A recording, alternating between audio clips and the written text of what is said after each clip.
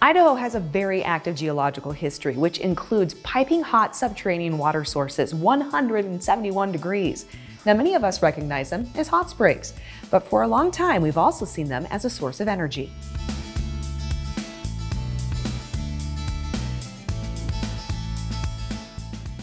Steve, Idaho has quite the geothermal use history, but for those who may not even know what geothermal really is, explain. Geothermal is hot water that comes deep in the earth where there is still a lot of residual heat, usually along fault zones where it can be drilled and brought up to the surface and then used in various kinds of, of functional uses. Okay, and, and people may actually be really accustomed with this through hot springs, right? Yes. We are blessed with so many hot springs here in the state of Idaho.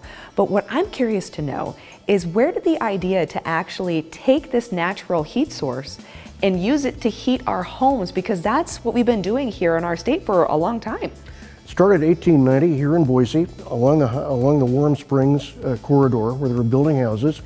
And they got the idea they could use a warm spring right over here on the other side of the parking lot for the old penitentiary. Pipe that water into the homes as they went along. That system gradually grew and grew until it went to the Capitol and now to Boise State University. Wow. Okay, and from what I understand too, that heating system is the oldest in the country. Is that correct? As far as we know, that's the first and oldest geothermal heating system in the country. Is it still in use? Absolutely, and it's expanding. Oh, really?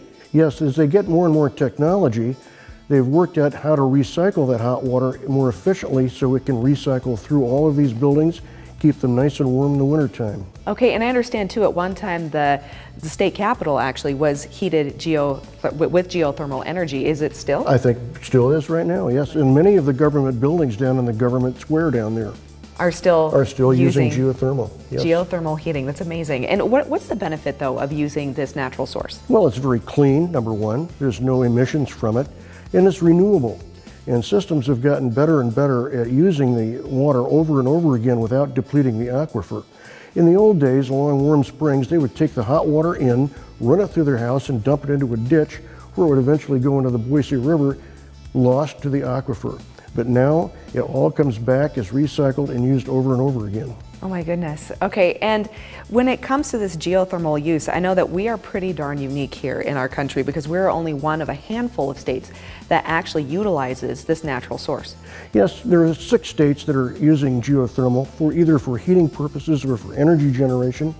We're not in the top tier of those, but uh, we are in fact the, uh, the pace setter since we started a lot of it going right here in Idaho. Wow, my goodness, that's really exciting. So you can say that is just one of the other amazing things about Idaho, right? Absolutely.